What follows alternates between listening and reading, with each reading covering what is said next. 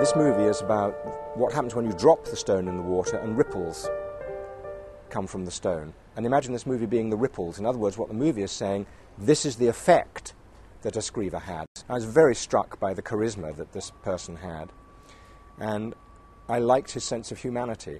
And that, that began to work on me. And then I thought, wouldn't it be wonderful to write a story that approaches saintliness in a different way, that doesn't say, I'm going to tell you the life of a saint A and B, but says, I shall tell you the story of a remarkable man and a remarkable man's relationship with God.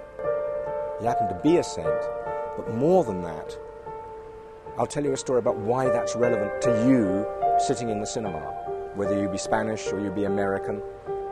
Because what he had to bring, this idea of being able to forgive others, is relevant and important to all of us.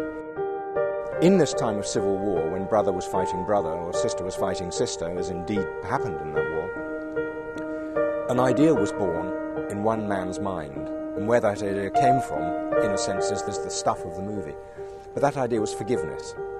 The idea really that the discipline of faith said that every human being is a child of God, no matter what his political ideology or his political side may be, indeed, no matter what his actions were. effect did this man have on the people around him? And that's what saintliness is, of course.